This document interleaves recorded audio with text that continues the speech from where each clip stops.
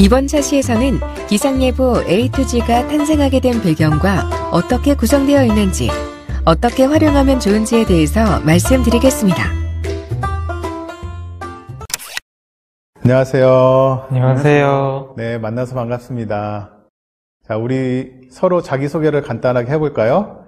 저는 기상청 기상기후 인재개발원에서 전임 교수로 일하고 있는 최정효입니다.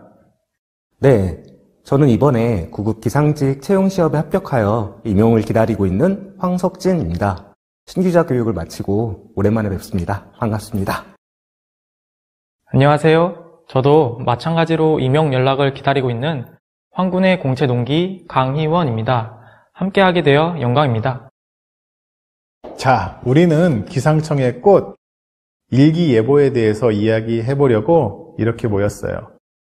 일기예보를 위한 다양한 전공 서적이나 컨텐츠도 많이 있는데 공부는 어떠셨어요?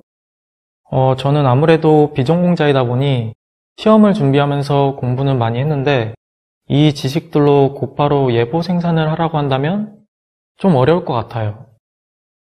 음, 기상전교로 복무한 경험을 떠올려 봤을 때 일기예보를 생산하는 과정은 어떤 프로세스가 필요하다고 생각합니다. 맞아요. 예보관이 예보를 낸다는 것은 많은 배경 지식으로만은 불가능하죠. 그걸 바탕으로 일정한 순서에 따라 자료를 분석하고 예보 의사를 결정해내는 과정이라고 할 수 있어요. 방대한 기초 이론을 모두 섭렵했다고 하더라도 신규 예보관이 곧바로 예보를 낼 수는 없다는 거죠. 이 학습 자료는 예보관의 수준을 3단계로 구분하고 실황을 파악하는 단계에서 예보를 생산해내는 일련의 과정을 따라하기 방식으로 구성하였습니다. 신규 예보관이라 할지라도 이 콘텐츠를 쭉 따라가다 보면 어느새 예보를 생산해내는 단계까지 도달할 수 있습니다.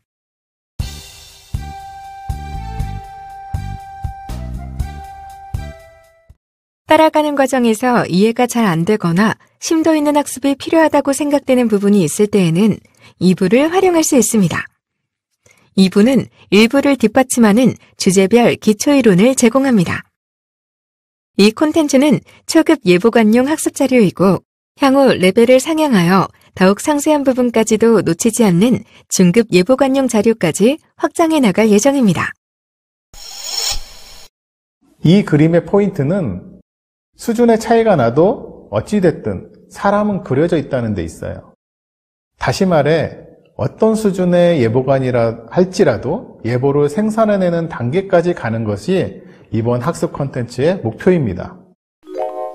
일단 밑그림을 그려보고 그 다음 디테일한 부분을 채워간다는 측면에서 이 학습 컨텐츠와 결이 같다라고 할 수 있습니다.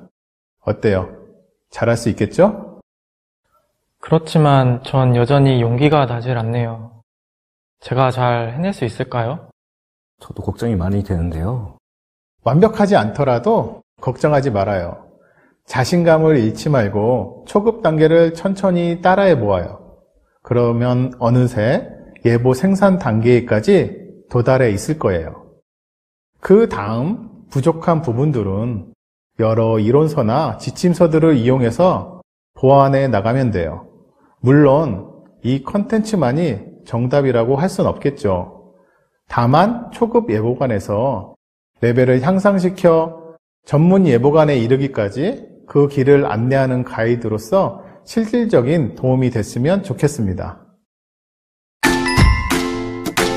이번 시간 학습을 마치겠습니다. 수고하셨습니다.